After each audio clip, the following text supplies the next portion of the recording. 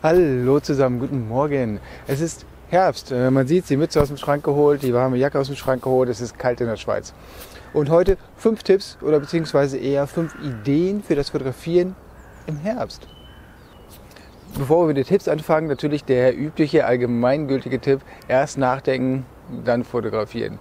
Und zwar, was ist das Besondere am Herbst? Das Besondere am Herbst ist ja nicht nur, dass die Mütze an ist, sondern vor allem, dass wir Nebel haben, dass die Blätter sich verfärben, dass es kalt ist, je nachdem, wo du wohnst, der erste Schnee vielleicht schon fällt. Äh, also das sind ja die besonderen Sachen. Und die willst du auf den Fotos einfangen, wenn du sagen willst, du willst ein Foto machen mit der Unterschrift Herbst in Bern oder Herbst in Hamburg oder wo auch immer. Der erste Tipp ist der ganz offensichtliche, such dir Bäume, und zwar verfärbte Bäume logischerweise.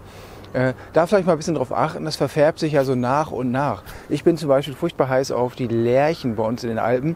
Die sind noch nicht so weit, die sind auch grün. Äh, die werden erst in zwei, drei, vier Wochen, je nachdem wie kalt es jetzt wird, verfärbt. Da warte ich drauf. Und ähm, während ich darauf warte, suche ich mir halt, ich gehe morgen in den Jura, das ist ein bisschen Vorgebirge hier in der Schweiz, und werde da kräftig fotografieren weil da hat es Laubbäume, so richtig ganz normales Laub, wie man es jetzt hier auch so ein bisschen sieht. Und das ist langsam so weit, zumindest hier in der Schweiz, dass es voll verfärbt ist. Also such dir Landschaftsfotografie mit Laubbäumen und steh früh auf, also zum Morgengrauen da sein. Und der nächste Tipp ist natürlich Nebel. Nebel am Wasser, wie ich das jetzt hier an der Aare habe oder an einem See oder einfach über den Feldern. Äh, Nebel haben wir an verschiedenen Stellen. Ich komme aus der Lüneburger Heide, auch da hat ständig Nebel. Und gerade die Lüneburger Heide kann ich, glaube ich, sehr empfehlen im Morgennebel. Also früh aufstehen hilft. Ähm, Wetterberichte angucken, ist eigentlich jeden Morgen Nebel, aber gerade im Oktober ist, glaube ich, die, die allerhöchste Chance, Nebel zu haben.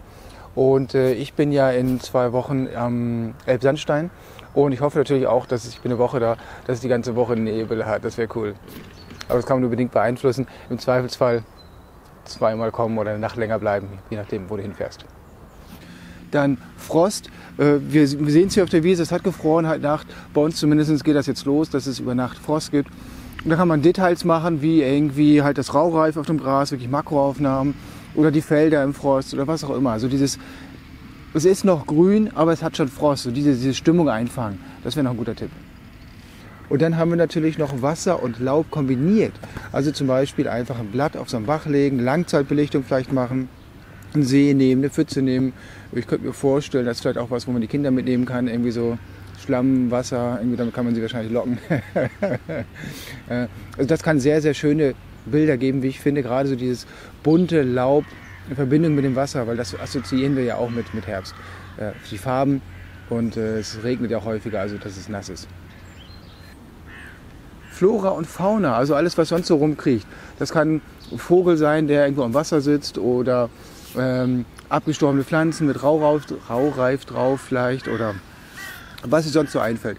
Also alles, was so sonst zur Natur gehört und was so ein bisschen herbstlich aussieht, zum Beispiel der Graureiher vor dem Herbstlaub oder was dir halt einfällt, sei kreativ. Also das waren meine 5 plus 1 ähm, Tipps und Ideen für das Fotografieren im Herbst. Ich hoffe, da war was dabei, was dich interessiert, und was dir geholfen hat und dich motiviert rauszugehen.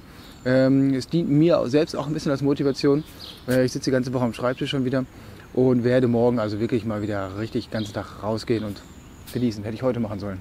Aber Wetterbericht hat gesagt, heute wird schlecht. Ja, äh, das war gelogen. und jetzt habe ich ein paar Termine heute. Na gut. Also, bis zum nächsten Mal. Tschüss.